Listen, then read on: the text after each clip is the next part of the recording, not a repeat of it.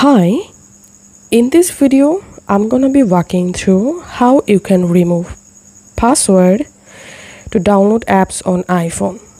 So as you can see right now I'm in my app store and now if I tap on gate to download any app as you can see it's asking to enter my Apple ID password to download any app. Now I'll show you how you can easily disable it and then you will be able to download any app from your app store without your Apple ID password. First of all, go to your settings app and in your settings app, scroll down and just tap on screen time.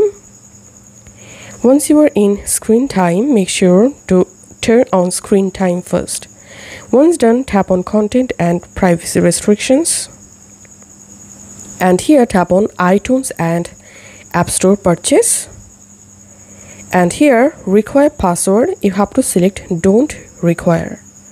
And then go back to your settings homepage. And now you have to scroll down and tap on face ID and passcode. Now enter here your passcode. And here you will find iTunes and App Store under use Face ID for. Just enable iTunes and App Store option. And now you have to enter your Apple ID password for last time. So enter here your Apple ID password and just tap on OK. And now relaunch your App Store. And now I'm going to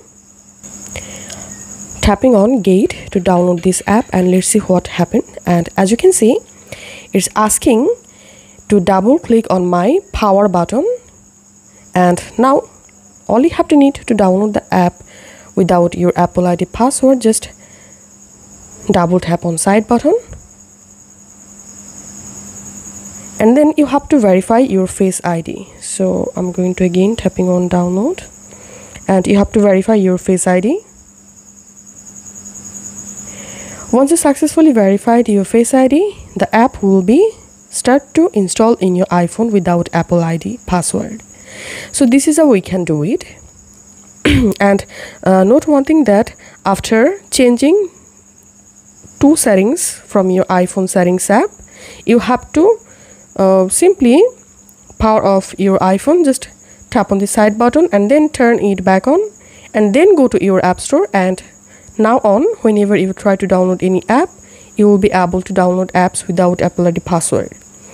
If this video helped you out, please leave a like and leave a comment down below. Thank you for watching.